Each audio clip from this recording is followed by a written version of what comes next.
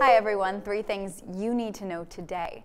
First, a transformer fell down on Lincoln Highway, closing a portion of the road near Kinzer's Fire Company. The highway is closed between McIlvaine Road and Hoover Road. They expect the roads will be closed for, for pretty long. No vehicles were involved and PPL has been called to fix the pole. A man and woman have been stabbed in a domestic dispute. Police say this happened in the 500 block of East King Street Sunday morning. This young couple were treated at a local hospital for minor injuries. Officials say they both will be charged with simple assault. There's a wind advisory in effect until 4 p.m. today. So remember earlier we mentioned the transformer down on Lincoln Highway East. Well, officials say that happened because of the wind. The National Weather Service says winds in Lancaster County will be gusting up to 50 miles per hour.